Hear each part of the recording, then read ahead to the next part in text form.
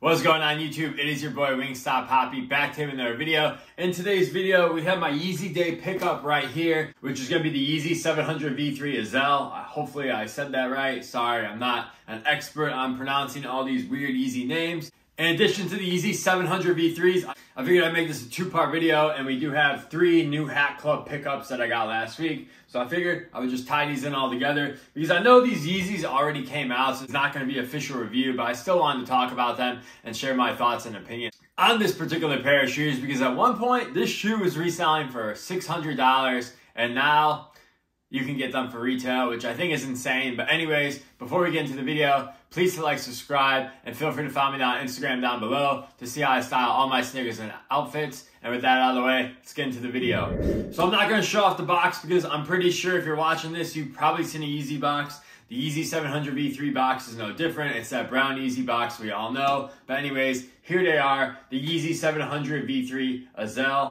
This was the first colorway to drop on the 700 V3. I believe they dropped in 2019, right at the end of the year. And I just remember people were going crazy for them because I remember Kanye West gifted DJ Khaled these, and that's when the internet first saw these for the first time. It was that photo when they were like getting on the private jet or whatever. But yeah, anyways, people went absolutely crazy for these, and then they dropped. They made them super limited, and they were reselling for six hundred dollars. And yeah, it was pretty crazy. And then they dropped more colorways, which I actually did end up picking up one of the colorways. I had the uh, yellow ones. I forgot what they were called. Sorry, there's so many random Yeezy names. And I actually wore them a few times. And I will have to say, the Yeezy 700 V3, in my opinion, don't hate me for saying this, but in my opinion, this is the most uncomfortable Adidas Yeezy that I personally own. As you guys know, this shoe does not have the boost. It has that EVA foam. And I wish it really did have boost because I'm going to be honest with you guys. When Yeezy Day came around, I just entered for these because I entered for everything. I wanted to see if I could win something. I'm probably not going to end up keeping these just because after wearing those yellow ones, the safflowers, that's what they were called. After wearing those for around like a year, I actually ended up getting rid of them because I just found them not to be comfortable for my foot. And it's just because the EVA foam just wasn't as comfortable as Boost. And if I'm gonna wear Yeezy, I'm gonna want the boost in it. So that's really why I got rid of these. But in other terms of like overall comfort for this shoe, the shoe also runs like super narrow. So if you are looking to pick these up, definitely go up half a size. I picked these up in 11. They actually fit me perfect, but once again, they are super narrow in the midfoot. So if you have a wide foot, you might want to go up a full size, honestly. But yeah, so that's my recommendation on sizing. In terms of resale, it's honestly crazy to me that these restocked and now they are sitting for retail pretty much on all the aftermarket websites. And once again, three months ago, this was like a $500 shoe, which I feel bad for anyone. Pour a drink out for someone who paid $500 for this shoe three months ago, because looking at that today, that has to be a tough pill to swallow. Personally, for me, I would be very pissed if that was if I was in that situation, but thank God I'm not. It's actually funny because one of my buddies, he wanted to pick this shoe up like last year and he wanted to pay, he was asking me if he should pay like the $500 resale price. And I basically told him, I was like, with Yeezys, they're probably going to restock. So you might as well just hold off. And he ended up getting a pair for retail on this restock. So there you have it. So my advice with all the Yeezys, honestly, I would not pay some crazy resale price for them because chances are, just like these, they're going to restock. And also this model has just lost like all hype. It's kind of crazy to me. I feel like the Yeezys, they have like that two year window. Besides like the 350 V2 Boost and the 700s, all the other Yeezys, they're like hype when they first come out and then people just kind of move on. And that's how I feel about these. I think people just like moved on from them. Not saying this is a bad shoe, it's super futuristic. But even on Instagram, when I see people wearing Yeezys, they're never wearing the 700 V3s. Honestly, I think it's one of the cooler looking Yeezy silhouettes.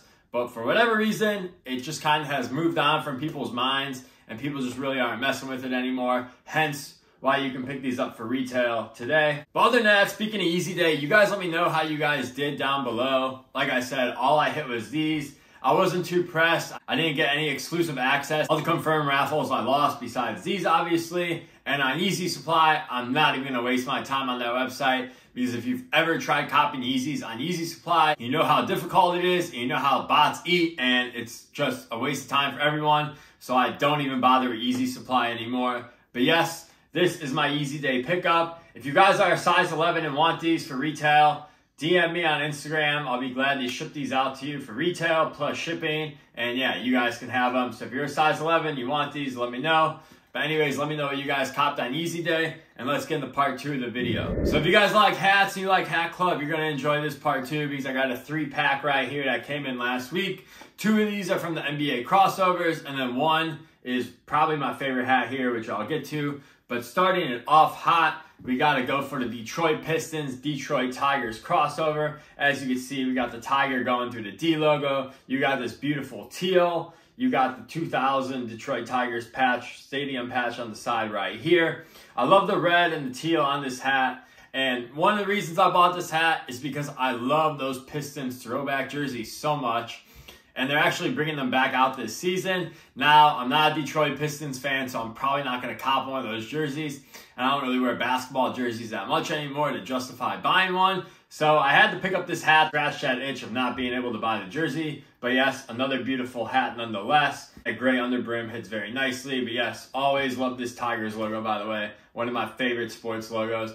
I'm wearing the swinging tiger hat right now. Moving on to another NBA crossover hat. This is actually my first Atlanta Braves hat. And as you can see, this is the Atlanta Braves Atlanta Hawks crossover. We got yellow, black brim, red undervisor. Now this mimics the Atlanta Hawks alternate yellow jerseys that they wore in 2004.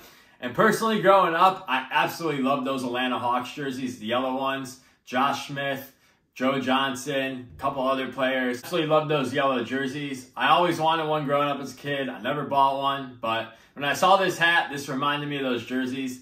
And I figured, why not? I don't have a Braves hat, so I decided to cop it. Also, I really like this 30 year anniversary Braves patch on the side right here. Very nice touch. Red under brim, like I said. And then, of course, you got the flat Batterman and also the alternate Braves Tomahawk logo, which in my opinion is the best Atlanta Braves logo. I know their regular classic A is iconic, but I personally prefer this alternate Tomahawk logo with the A. No yellow is a tough color to wear, but I'm gonna make this happen nonetheless. And then my last hat here, I'm not a big Stone Island fan, nor do I own any Stone Island pieces, but I love this Mariners logo, and this looks exactly like a Stone Island fitted hat would if Stone Island ever made fitted hats. But as you guys know, Compass logo Mariners. We got the 35th anniversary patch right here. Beautiful olive green color. If you guys been watching the channel, you guys know I love olive green. And the cool thing about this hat is that this UV is actually to be a stone color and not a traditional gray. It's a super nice touch. Hopefully the camera picks it up. But honestly, perfect fall hat right here. I, cannot wait to wear this thing all the time because olive green goes with a lot of stuff. And I have a lot of stuff in my closet that goes with olive green. So follow me on Instagram or whatever. Definitely expect to see me wearing this hat a lot for some fall fit pics. But anyways, that's going to conclude this video. Three-piece hat club pickup. Oh my God. Yeezy 700 V3 Azaels. Let me know what you guys think about either or the hats or the shoes. Let me know your thoughts and comments below. As always, I appreciate you guys watching. I'll catch you in the next one. Peace.